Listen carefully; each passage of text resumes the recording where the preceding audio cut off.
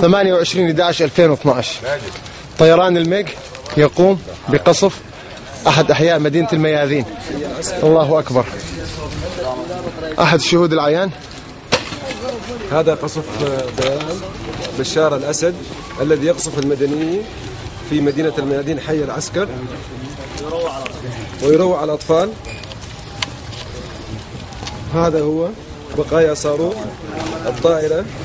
التي ألقت على هذا الحي لا يوجد لا جيش حر لا مسلحين.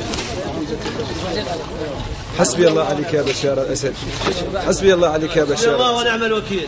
حسبنا الله ونعم الوكيل عليك يا حسبي الله ونعم الوكيل. 28 11 2012 المركز الإعلامي في الميادين. إن شاء الله.